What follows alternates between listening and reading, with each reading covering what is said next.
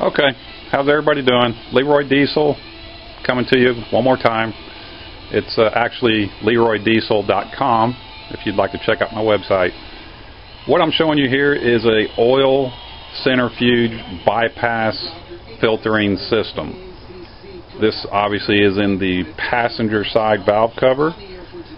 The oil supply is coming in from that stainless steel braided hose. It comes in from another product that I offer, which is the oil pressure sensor extension hose. What that allows you to do is remote mount your oil pressure sensor so that next time you have to do that job, it's much easier because it's kind of a pain to do it, especially on 94, 95 models. Uh, it's way back there behind the, the, the, the cylinder head, behind all the electronic big bundle, uh, the connectors, all that stuff. So it's anyway, I won't get off on that too much. Uh, what we do on the end of that hose is obviously the op sensor goes on one end on a T, and then the other end would come into that stainless steel hose, which feeds this um, oil centrifuge. That oil centrifuge, uh, dependent on the oil pressure, can spin up to 6,000 RPM. That's quite a lot of G-force. I don't remember the technical answer to how many G-forces that is, but it's enough to take the soot out of the oil according to claims. I won't, you know, I won't say it does that, but according to claims, it takes the soot, um, and it gets down to like one tenth of a micron. So that's a, an extremely fine particle. Inside the oil centrifuge there is a drum which will catch all the debris and hold it. Uh, so whatever that centrifuge uh, spins out will be contained inside. There's a there's another little spinning drum inside there. Uh, it's also some people are concerned that the oil pressure may be affected, uh, and it won't.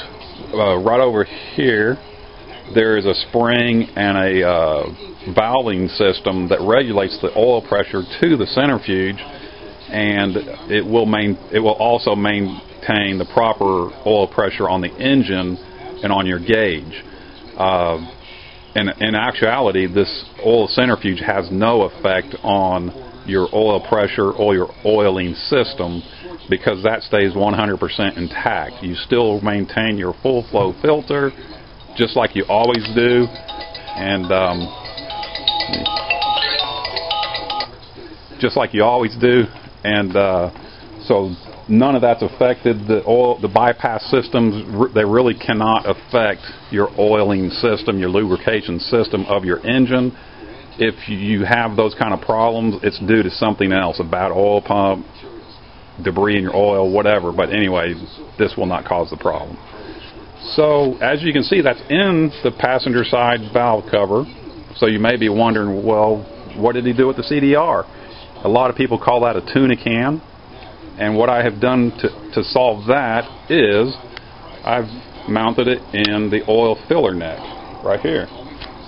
So all you got to do is I'm going to supply in the kit a longer hose. You'll reuse the existing tube that came on the CDR. Usually it would run from the CDR back here over into the turbo. In this case, you're going to reuse it. All you need is this longer hose. And then this is the original elbow that goes down into the turbo, which is going to be approximately here somewhere.